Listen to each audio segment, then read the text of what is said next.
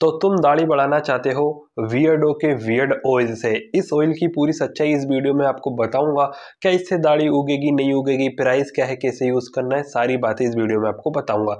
तो देखो, इसकी बोतल कुछ इस प्रकार से देखने को मिल जाती है, ठीक है? इस प्रकार से इसकी बोतल देखने को मिलती है। ये इसका बॉक्स है जो कि हमने ऑनलाइन मंगवाया था। अगर मैं इसके प्राइस की बात करूँ दोस्तों तो इसका जो प्राइस है दोस्तों, सात सौ है। लेकिन डिस्क्रिप्सन में मैं जो लिंक डालूँगा, हो सकता है उससे आपको कम में मिल जाए। ठीक है तो आप एक बार चेकआउट कर लेना। अब हम बात कर लेते हैं कि इसमें इंग्रेडिएंट्स कौन कौन से मिला हैं। तो देखो, इसमें सीसम ऑयल देखने को मिल जाता है।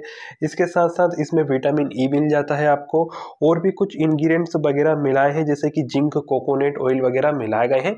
मतलब इंग्रेडिएंट्स काफ़ी अच्छे हैं, ऐसा नहीं कि इंग्रेडिएंट्स बेकार हैं। लेकिन प्राइस जो है, उसके अकॉर्डिंग ये थोड़ा सा महँगा है, मैं ये भी कहना चाहूँगा। अब बात कर लेते हैं इससे फ़ायदा क्या हो सकता है? क्या इससे सच में दाढ़ी उगती है, नहीं उगती है? तो देखो, सबसे पहले बॉक्स को साइड में रखते हैं। अब बात करते हैं इस ऑयल की।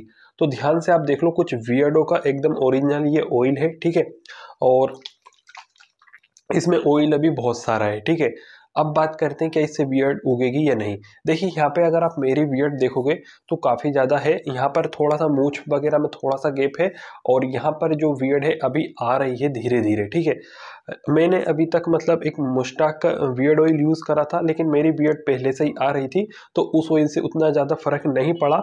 मतलब फ़र्क ये पड़ता है कि आपकी जो बियड रहती है, वो थोड़ी साइन करती है, वो स्मूथ रहती है, उसमें डेंड्रफ वगैरह नहीं होता है, और उसकी जो ग्रोथ है, वो धीरे धीरे बढ़ा देता है ऑयल अगर आप इसको भी यूज़ करोगे तो इससे आपकी अगर वेट पहले से आ रही है तो वो जो वियर्ड है, उसकी ग्रोथ थोड़ी इम्प्रूव हो जाएगी। बाकी के इससे पेची वियड जिनकी है, वो सोच रहे हैं कि हमारी पूरी वियर्ड आ जाएगी। तो ऐसा नहीं है। शुरुआत अगर आपकी वियर्ड की हो चुकी है तो ये उसमें थोड़ी बहुत हेल्प कर देगा। बाकी के आपकी जो वियर्ड है, उसको साइनी रखेगा स्मूथ रखेगा डेंडअप नहीं होने देगा।